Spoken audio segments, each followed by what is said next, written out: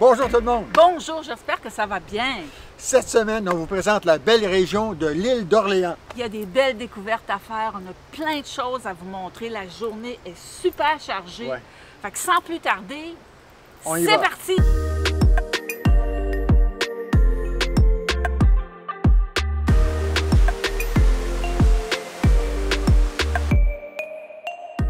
Amis, on a une histoire à vous conter. Ben, Anne a une histoire à vous conter. Alors, je vous la passe immédiatement. L'île d'Orléans, c'est pas tout à fait nouveau pour moi. Quand j'étais petite, je venais passer les vacances d'été chez ma grand-mère, pas loin d'ici. D'ailleurs, on a découvert le chalet hier. Et puis, les bons souvenirs que j'en ai, c'est que moi et ma sœur, on se promenait sur la grève à marée basse, puis on s'amusait à cueillir des agates, c'est des petites pierres polies.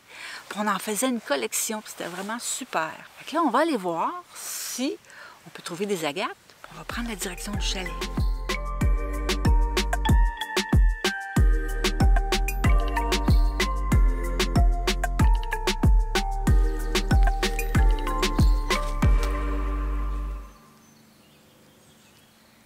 J'en ai trouvé plusieurs. C'est des petites pierres dépolies. Je sais pas si on peut bien les voir, là. Alors, euh, c'est ça, le, le plaisir, c'était de se promener. Il faut vraiment avoir l'œil aux aguets parce que les petites roches sont vraiment polies. Puis on venait à marée basse quand les petites roches, les cailloux étaient sèches. Plus facile à distinguer quand il y a une pierre qui est plus polie que d'autres. Fait que c'est ça, c'est ma petite, euh, mes petits trésors d'aujourd'hui.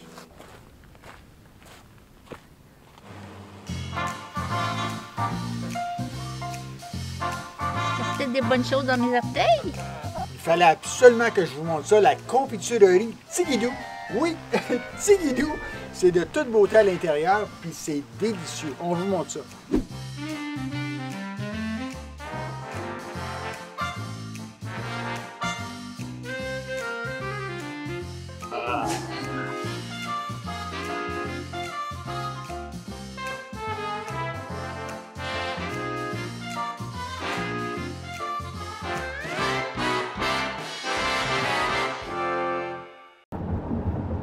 Chérie? Ben oui.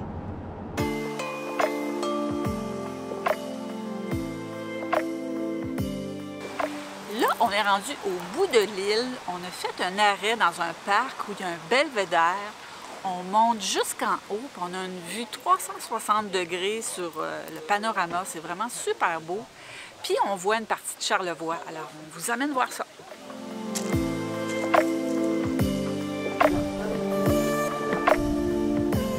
Ben, ici, c'est la vue de, de la tour, du haut de la tour. On Ah vous oui. montre ça, les montagnes de Charlevoix.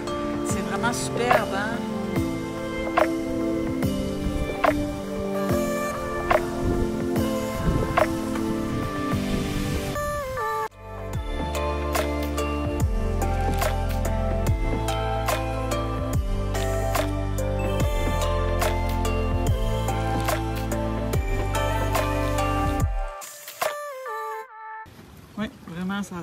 Le fabuleux fish and chip de... de, de, de La Goéliche. de- La goéliche. Délicieux. Ça a vraiment l'air bon, hein? Ouais. On a le don de trouver des bons spots, chérie. Oui, fish and chip avec la vue sur le fleuve. Et chérie, c'est bon? Hey, c'est vraiment bon. Vraiment, avec la sauce tartare, là, une bonne portion de, de poisson.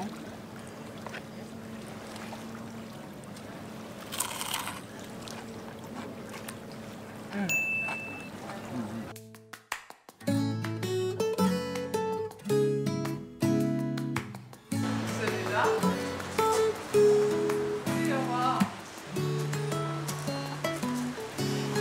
va pouvoir déguster des délicieuses fraises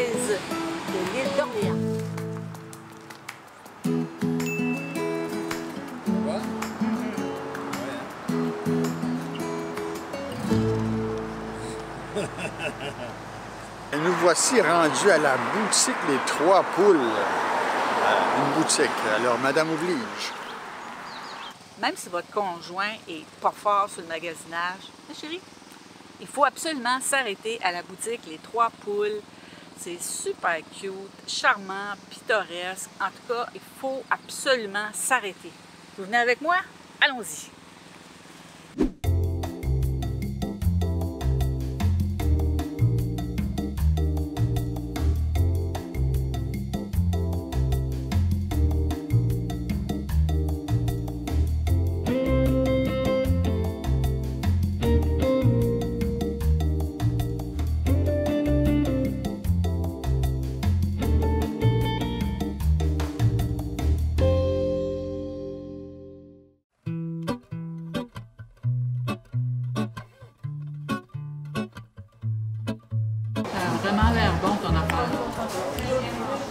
Vraiment. Hein? Ouais. On vient de manger chez Mona, Cassie Mona et Fille. C'était vraiment délicieux, une découverte qu'on a fait à la dernière minute. Puis il y avait une terrasse extérieure et puis c'est des aliments du terroir. Toi, tu as mangé? Moi, j'ai mangé un sandwich au poulet qui était écœurant. C'était tellement bon. bien apprêté. Puis moi, j'ai mangé une poutine pour les Européens. Si vous ne savez pas ce que c'est, c'est une sauce avec des frites et euh, du fromage en grains. Mais il y avait un confit de canard avec ça, là. Confit de canard avec euh, sauce au vin. Hum. Alors, si vous venez à l'île d'Orléans, on vous recommande de venir manger ici. Il fallait le mentionner. C'était Exact. si bon. Très bon.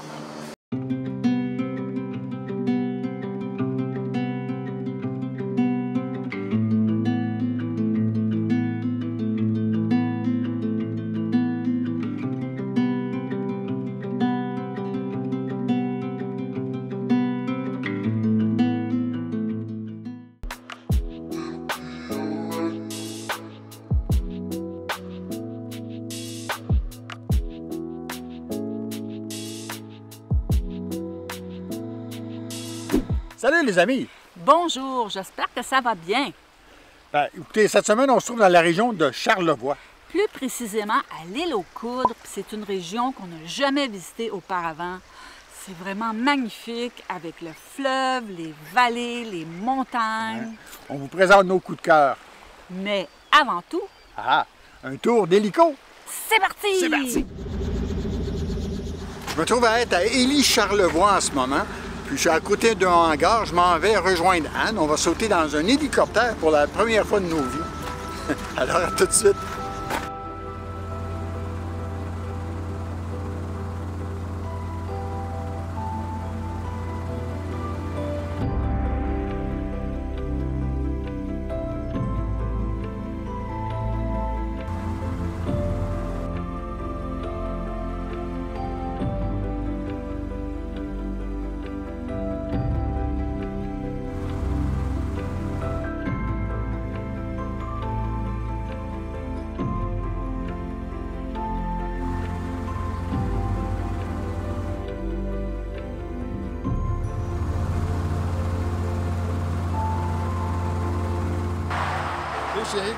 Trouvé ça? Ah, hey, c'était génial. J'a- J'avais un petit peu d'appréhension au début, tu sais comment que je suis avec euh, les, les affaires, euh, les machines, puis là, il faut faire attention à ci, puis il faut faire attention à ça.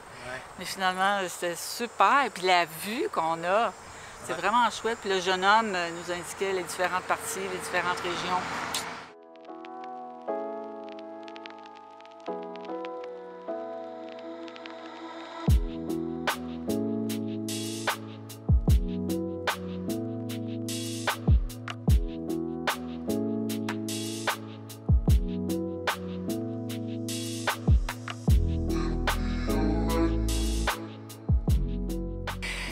Amis, on est à l'intersection des rues La Prairie et des Coudriers. C'est une rue fermée, c'est barré pour les euh, voitures, mais on a découvert ça qu'on peut aller prendre une marche. On a vu qu'il y a beaucoup de vélos qui passent par ici, alors on va aller découvrir ça.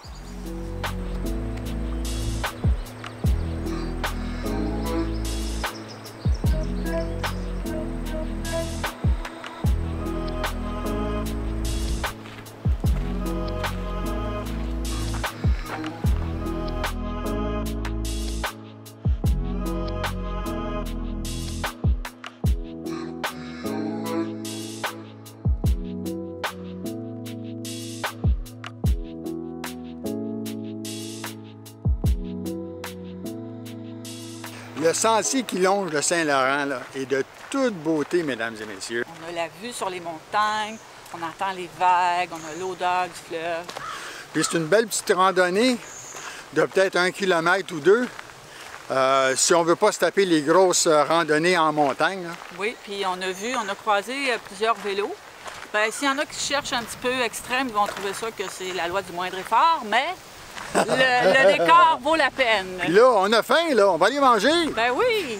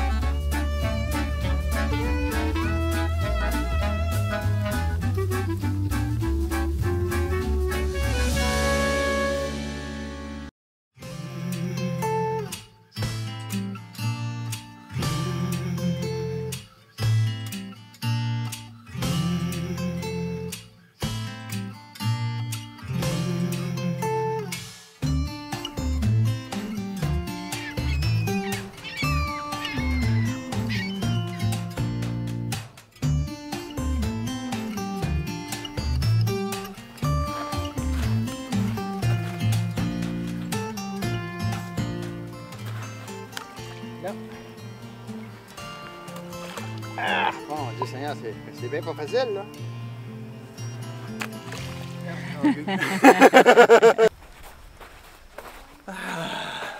On vient de souper. Oui, un bon repas chez Boulangerie Bouchard. Boulanger Bouchard avec la propriétaire qui se nomme Noël Ange, Oui, charmante dame. Un accueil chaleureux. C'est vraiment Ouais. un incontournable à Lille. Si vous venez ici puis vous cherchez des petits repas, là, Ouais. du prêt à manger, c'est vraiment l'endroit désigné. C'est COVID-friendly, là, on fait la file, puis euh, c'est délicieux comme faut arriver tôt parce qu'il y a beaucoup de monde, tout Ouais. le monde se passe le mot, puis euh, si tu arrives sur l'heure euh, des repas, là, Ouais. mais ça vaut la peine. Ça vaut la peine, ça vaut la vraiment. On a profité de la journée pour relaxer. On vous a montré des endroits où on pouvait marcher, profiter du fleuve et tout. Puis là, chérie, demain, euh, Demain, c'est une petite visite à Baie-Saint-Paul. Oui, sur le boulevard euh, Saint-Jean-Baptiste, Saint-Jean-Baptiste, on va aller voir ça. Apparemment, c'est quelque chose à voir. c'est très beau. Alors, ben, on vous souhaite euh, bonne nuit. Euh, pour nous, euh, on va se voir. Pour, pour tout de nous, c'est bonne nuit, puis c'est ça. Puis Pour pour, vous, c'est dans quelques instants. Alors, on se voit tout de suite. Et voilà, vite comme l'éclair, on est à Baie-Saint-Paul. Sur la rue Saint-Jean-Baptiste, c'est vraiment pittoresque, vraiment beau. On part en exploration. Oui. Puis on va peut-être se dénicher un petit resto. Ah oui, bien important, savoir où manger. Ah ah.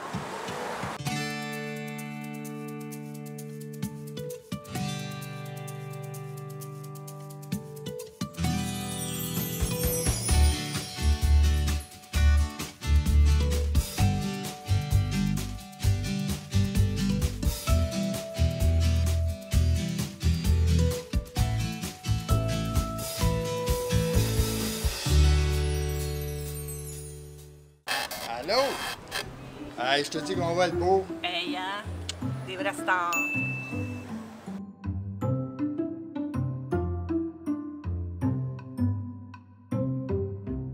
Hey, Hey, les curieux nomades. immortalisé par Denis Vizina. Hey, merci beaucoup, Denis. Bienvenue. Alors, je voulais vous dire un petit mot pour ceux qui aiment aller luncher dans des bons endroits. On vient d'aller au Café des artistes à Baie-Saint-Paul sur la rue Saint-Jean-Baptiste, puis ça vaut vraiment la peine. Tout était goûteux, très savoureux. Euh, en tout cas, à chaque bouchée, on était Hum, que c'est bon. Donc, si vous cherchez un endroit où aller manger, il y a une terrasse à l'arrière, on vous le recommande.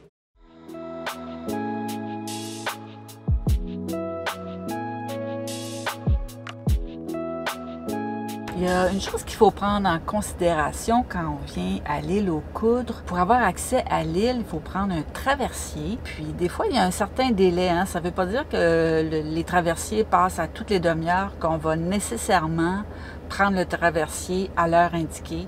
Parfois, il y a des attentes. Ce qu'on a remarqué, c'est que si on part tôt le matin, ça va bien. Mais si on revient à l'heure du souper, il y a plein de voitures, il y a plein de gens, soit qui reviennent ou qui sortent. Puis là, c'est un petit peu plus long. Donc, euh, il s'agit d'être patient. S'attendre quand on vient à l'île, il faut attendre un peu pour prendre le traversier. Mais les gens, en général, sont bien chill. Sortent dehors, regardent. Puis, quand on est en vacances, il n'y a pas de presse.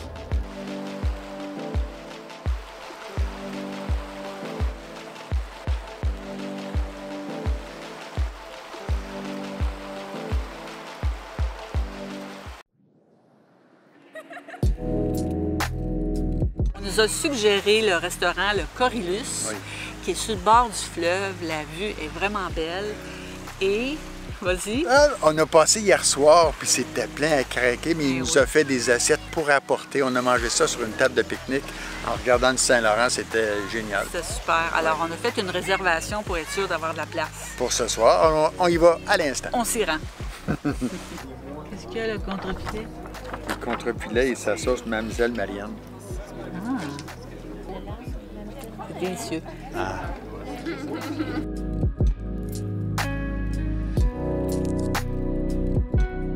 C'est tout un coucher de soleil. Hey, je pense que ça va être pas mal.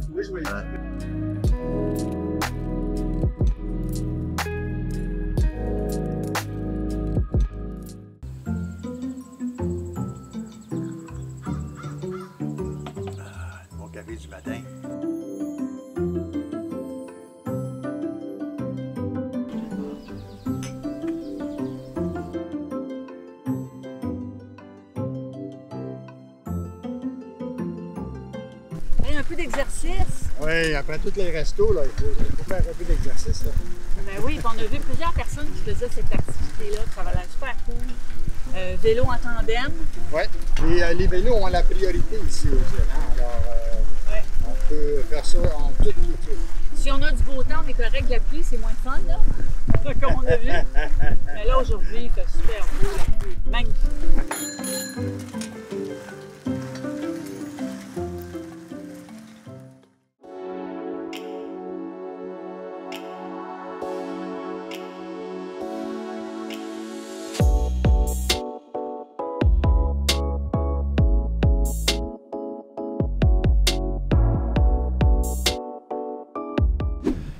Les amis! Bienvenue sur notre chaîne. Moi, c'est Anne. Et moi, c'est Eric. Et sur cette chaîne, on vous présente des idées d'escapade. Et cette semaine, on vous fait découvrir Kamouraska, un beau village pittoresque. Oui, et on commence ça avec une balade en vélo. Oh, c'est parti!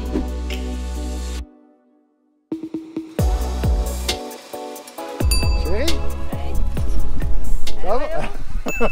Allô, allô! Ça va? Wow! Faut regarder, là! Oui, oui. Oui, ça va. Au début, euh, c'est un peu compliqué, là. Ouais. Mais une fois que tu prends la twist, là, c'est vraiment le fun.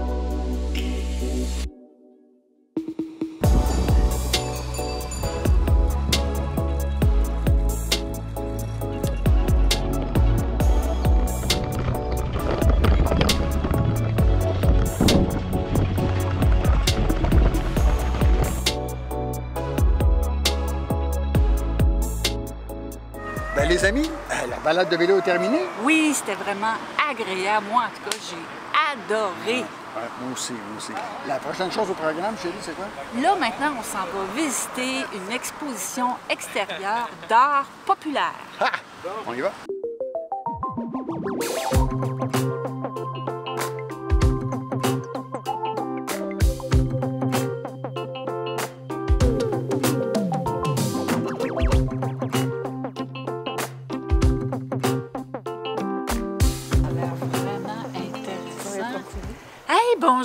Bonjour! Justement, t'arrives juste à temps. Hey, les amis, je voulais vous présenter Luce Lévesque, artiste. Écoute, Luce, tu pourrais-tu nous expliquer un peu c'est quoi l'art populaire? L'art populaire, on pourrait dire que c'est l'art du peuple. C'est un art qui se prend pas au sérieux. Disons, dans les années 40-50, les gens étaient pauvres, fait que, euh, à la maison, ils faisaient des jouets pour leurs enfants à Noël. Puis, de fil en aiguille, il y a des collectionneurs qui se sont mis à s'intéresser à ça. Quand je dis l'art du peuple, c'est vous allez en voyage à l'extérieur, puis vous euh, tenez à rapporter des choses du milieu, de la place. Il y a l'art premier, l'art de base des gens d'ici qui font Oui. ça sans avoir suivi de cours ni de formation. Donc, ça donne des œuvres pleines de liberté parce que ces gens-là n'ont pas à, à répondre aux règles de Suivre l'art. des règles strictes. C'est très joyeux, je trouve. Oui. C'est oui, fun oui. d'apprendre ça. Ah oui, mais je vous invite à faire le tour parce qu'il y a plein de belles choses ici à Oui. découvrir. Eh ben, merci beaucoup. La machine à vœux. Fait un coup, c'est la santé. Deux coups, c'est la chance. Puis trois coups, c'est le bonheur. Que vais-je prendre, d'après vous?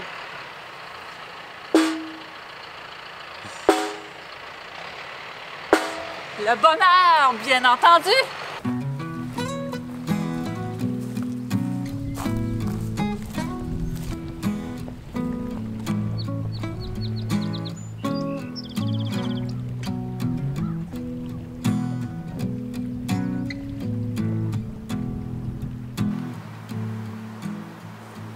Endroit à ne pas manquer quand on vient à Kamouraska, c'est venir acheter du pain à la boulangerie.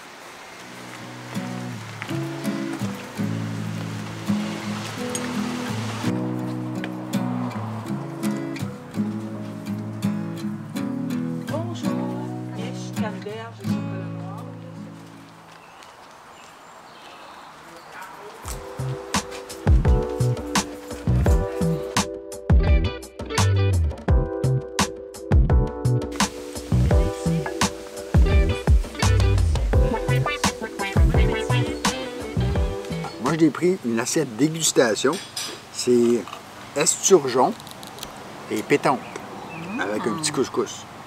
Esturgeon et pétanque. Ouais. Oh. Ouais, c'est bon. C'est bon, hein? Ouais, ouais. Moi, j'ai pris une guédille au homard, tellement bon qu'on dirait qu'il vient juste d'aller le pêcher. Puis une guédille, pour ceux qui ne savent pas ce que c'est, c'est un simili hot dog. Alors, c'est le pain. Mais la garniture, c'est des fruits de mer. C'est vraiment super bon.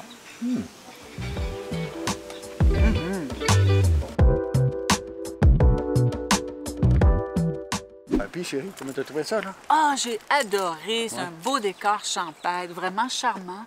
J'ai appris sur Internet que la bâtisse, autrefois, c'était une écurie. Alors, les gens, quand ils venaient à la messe, ils venaient porter leurs chevaux à l'écurie. Mais là, maintenant, c'est un beau petit café. C'était vraiment agréable. Toi, Ouais. as-tu Ouais. aimé? Ah, c'était super. Là, on a un petit musée. On n'est pas genre musée, là, mais celui-ci, là, il faut voir, hein? Ça vaut le détour. Moi, j'aime ça, en tout cas, apprendre l'histoire de Kamouraska. Ça va être intéressant. On y va.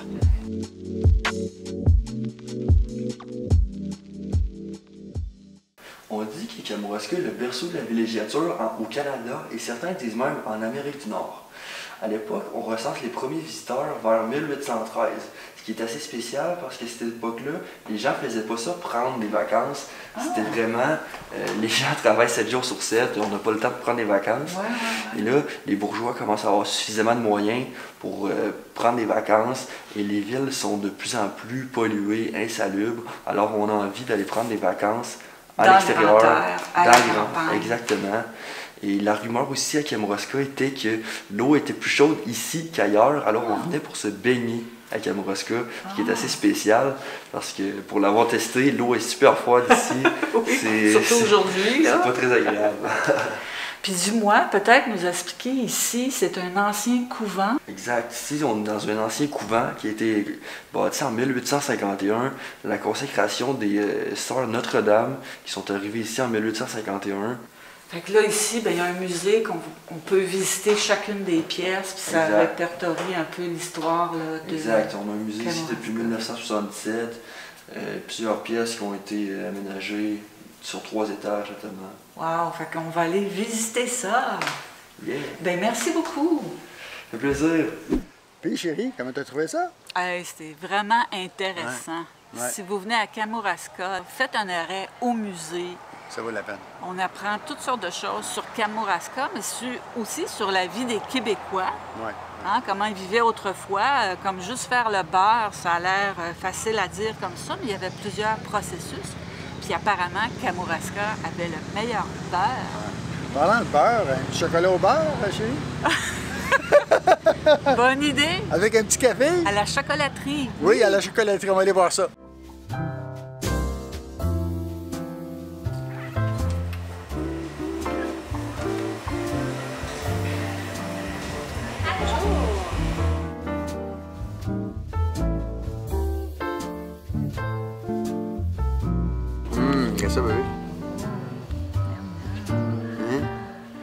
Juste assez pour se sucrer le bec. Ouais. Délicieux. Lequel choisir en premier, là, toi? Moi, c'est celle-ci.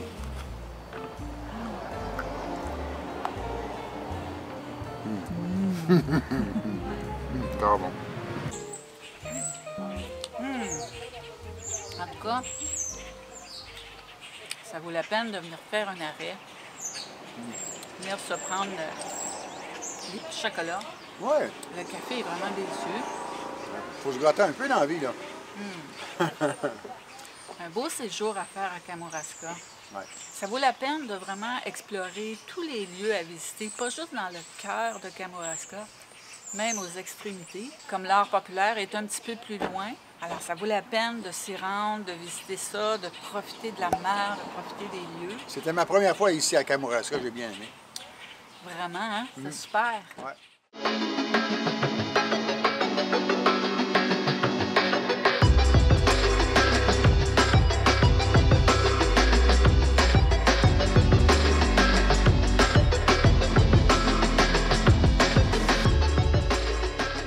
Salut les amis, Bonjour, moi c'est Anne. moi c'est Eric et sur cette chaîne on vous présente des idées d'escapade et de découverte. Et cette semaine, on vous amène découvrir un incontournable à Rimouski. Oui, le bic, mesdames et messieurs. Ça sent les algues. Oui, il me semble que ça sent beaucoup. Ouais. Oh. Je disais donc, on vous amène découvrir le parc national du Bic. On va vous montrer quelques sentiers à explorer. Oui, mais avant tout, on commence avec un petit déj aux folles farines. Oui, la boulangerie Folle Farine à Pignon-sur-Rue dans le magnifique village du Bic. Petite boulangerie coquette avec une belle variété de pains originaux et de pâtisseries. C'est l'endroit idéal pour faire un arrêt gourmand avant d'entamer votre journée. On aurait pu prendre le déjeuner sur la jolie terrasse, mais le temps pluvieux nous a incité à rester à l'intérieur. C'est-tu beau? Oui, c'est de toute beauté. Là, on a emprunté le sentier de l'île aux Amours, qu'on peut avoir accès à marée basse, puis ça nous permet, je ne sais pas si on peut faire le tour, là, mais le paysage est vraiment super beau.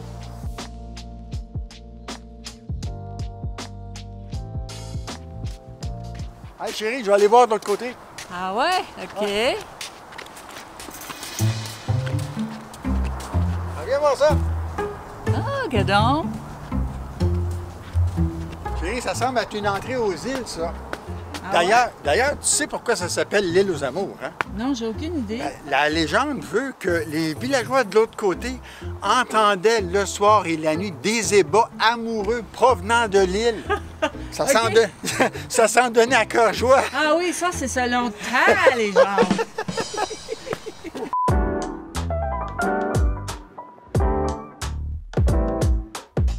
Là, les amis, on est à notre deuxième sentier qu'on vous propose, la ferme Rioux. C'est pas tellement loin de l'île aux Amours, à peu près cinq minutes en voiture. Le site est vraiment super beau avec les bâtiments anciens. Puis là, la marée est basse, on voit les îles au loin. Puis il y a même des tables à pique-nique si vous voulez prendre un petit lunch. Donc, on s'en va explorer ça. À la ferme Rioux, ce qui est bon à savoir, c'est que c'est un endroit où il y a un départ de plusieurs sentiers. Alors, sur la carte, on voit qu'on est ici. Puis, tous les petits pointillés, c'est des sentiers qu'on peut emprunter. Et puis, les triangles, ça nous indique qu'ils peuvent être pris à marée basse. Puis, ils nous disent de consulter la map des marées basses pour savoir à quelle heure que ça a lieu. C'est tout indiqué ici, donc avec les dates, les années, fait qu'il n'y a pas lieu de se tromper. Vraiment intéressant. Chérie, la pizza est servie. Ouh! Ah, wow! Ça va être bon, ça? Les amis, la pizza, je l'ai achetée ce matin chez Folle Farine. Délicieuse. Très bon. Avec un paysage semblable, c'est encore meilleur. On ne peut pas se tromper. Maintenant, on s'en va en direction du belvédère Raoul-Leroy, qui est à juste 20 minutes de route. Apparemment, la vue est magistrale. Regardez-moi ça. Hey, hein? 50 mètres du stationnement. C'est pas extraordinaire, c'est parfait c'est pas pour nous. C'était trop beau. C'était 50 mètres du stationnement, mais en pleine brume. Eh oui. Tout un belvédère. Bon, on va revenir. Ouais. Là, on s'en va où après, chérie? Oh, l'île au massacre. Oh. Oh, Anne a toute une histoire à vous conter là-dessus.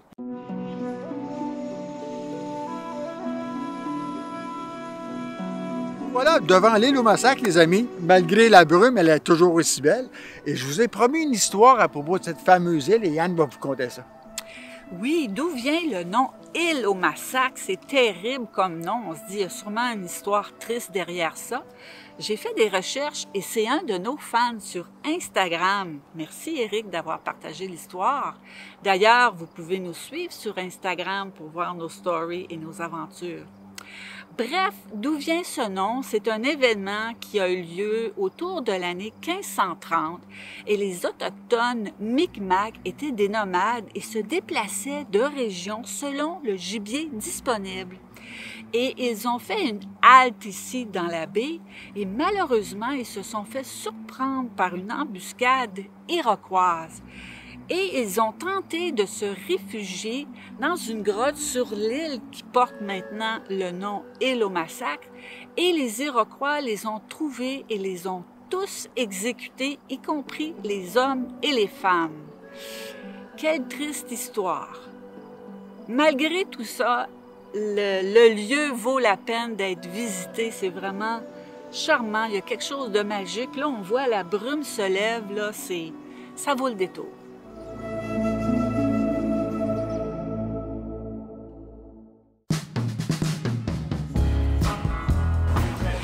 Un autre incontournable à faire au Big, c'est la fameuse cantine côtière de chez Saint-Pierre.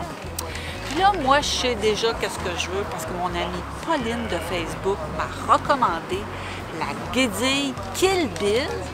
Toi, chérie, euh, qu'est-ce que tu vas prendre? Moi, ça va être le Flingstone. C'est un jarret d'agneau. Regardez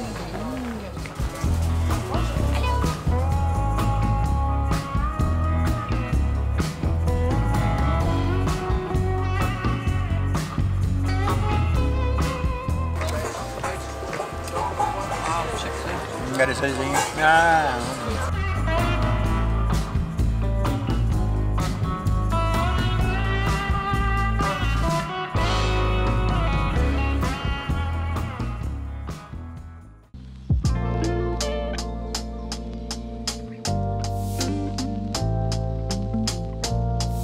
Ben, écoutez, les amis, on vient de manger, c'était délicieux. On s'est rempli le bedon. C'était vraiment, ça explosait de saveurs. Si vous avez une chance d'aller là, hum, ça vaut la Ça peine. vaut la peine. C'est un peu dispendieux, il faut le dire, mais je pense quand on vient au Big, c'est un autre incontournable. Un autre incontournable. Il y en a plusieurs. Puis là, ben, pour bien terminer la journée, quoi de mieux que de venir filmer et admirer le coucher de soleil? Oui. D'ailleurs, on nous a dit que c'était la marée la plus haute, La plus haute de la saison, saison. aujourd'hui, oui. C'est vraiment très bien Mm. avec les petits maringouins qui nous tournent autour. Ben oui. Alors, les amis, n'oubliez pas, le petit pouce bleu ou noir, hein? Oui, ça chatouille les algorithmes et puis euh, abonnez-vous si le cœur vous en dit pour faire d'autres belles découvertes. C'est ça. Et sur ce, On vous dit à la prochaine. ciao. Ciao.